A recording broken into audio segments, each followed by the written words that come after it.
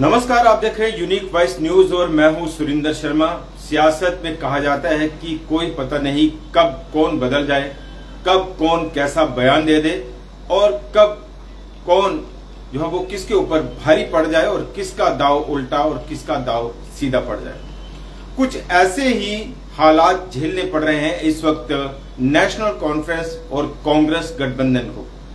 हुआ दरअसल ये कि पाकिस्तान की ओर से एक बयान आता है और उस बयान का असर जम्मू कश्मीर की राजनीति को पूरी तरह से गर्माता हुआ दिखाई देने लगा है। बड़ी बात यह है कि जम्मू कश्मीर की सियासत इन दिनों ऐसे मुद्दों पर चल रही है, जम्मू कश्मीर में विधानसभा चुनाव हो रहे हैं और ऐसे मौके पर पाकिस्तान की तरफ़ से एक बयान आना और उस बयान से जम्मू कश्मीर की सियासत, हमें लगता है, पूरी तरह से 90 डिग्री एंगल पर घूम गई है। पाकिस्तान के डिफेंस मिनिस्टर ख्वाज आसिफ, उनका हाल ही में एक बयान आया है कि 370 को लेकर, और आप जानते हैं कि इस वक्त जम्मू कश्मीर में धारा 370 की बड़ी चर्चा चल रही है। धारा 370 पर बयानबाजियाँ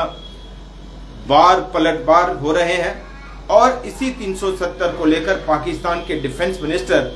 ख्वाज आसिफ एक नेशनल टीवी चैनल को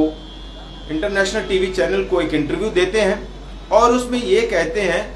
कि 370 को लेकर कांग्रेस, पाकिस्तान और नेशनल कॉन्फ्रेंस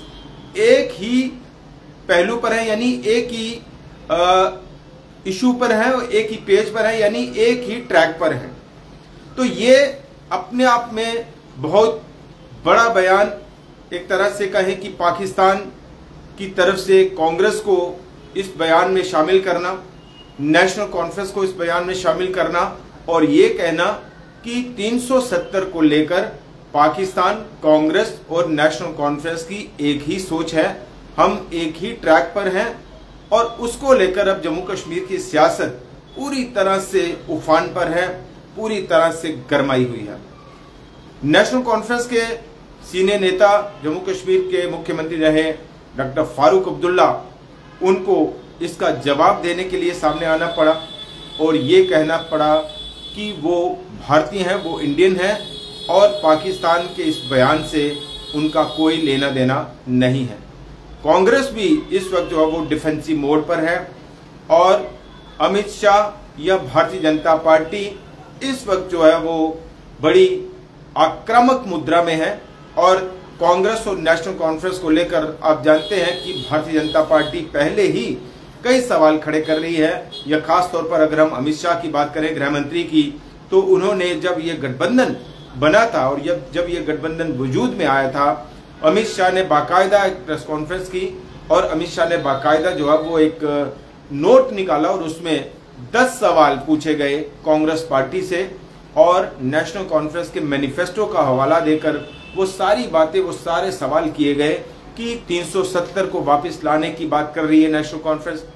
कश्मीर से पीएसए हटाने की बात कर रही है। जो जेलों में बंद हैं, उनकी रिहाई की बात कर रही है।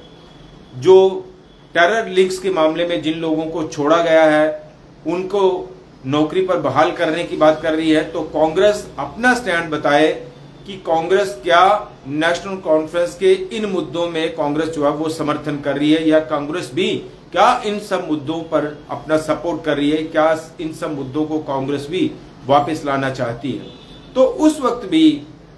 गृह मंत्री अमित शाह ने इस कोलिशन को लेकर कोलिशन के वजूद को लेकर सवाल उठाए, और आज हमें लगता है कि जो पाकिस्तान के डिफेंस मिनिस्टर ख्वाज आफसी आसिफ की तरफ़ से जो बयान दिया गया है उसको लेकर नेशनल कॉन्फ्रेंस और कांग्रेस के लिए इस बयान ने अब बड़ी मुश्किल जो है वो पैदा कर दी है। बड़ी बात यह है कि अब भारतीय जनता पार्टी के नेताओं को ये कहने का मौका मिल गया है कि देखिए, हम तो शुरू से कहते थे कि कांग्रेस नेशनल कॉन्फ्रेंस और पाकिस्तान एक ही भाषा बोलते हैं। और आज देखिए कि पाकिस्तान के डिफेंस मिनिस्टर ने भी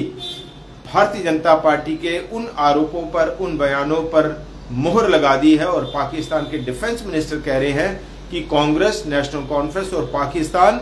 एक ही विचारधारा के हैं 370 को लेकर, यानी एक ही आइडियोलॉजी रखते हैं, एक ही ट्रैक पर जो है वो चल रहे हैं। और उसके बाद नेशनल कॉन्फ्रेंस भी डिफेंसिव मोड पर आ गई है,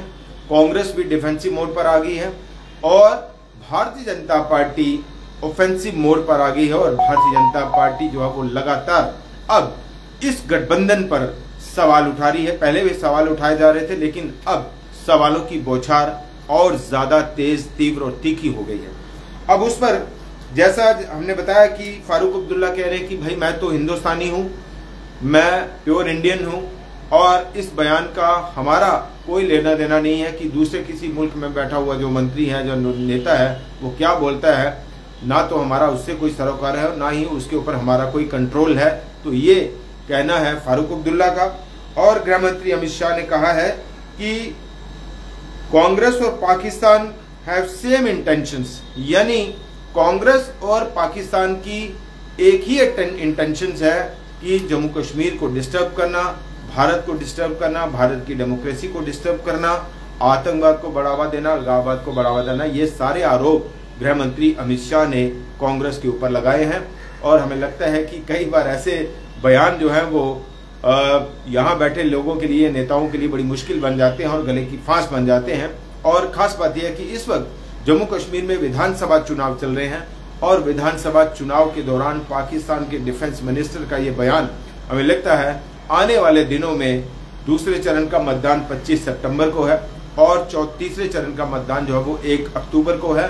और इन दिनों में ये बयान अभी काफ़ी ज़्यादा इस पर चर्चा होगी। काफ़ी ज़्यादा इस पर वार पलटवार होंगे और नेशनल कॉन्फ्रेंस और कांग्रेस के लिए पाकिस्तान के डिफेंस मिनिस्टर के इस बयान ने बहुत हद तक मुश्किलें पैदा कर दी है। देखते रहिए तमाम अपडेट्स के लिए यूनिक वाइस न्यूज़। नमस्कार।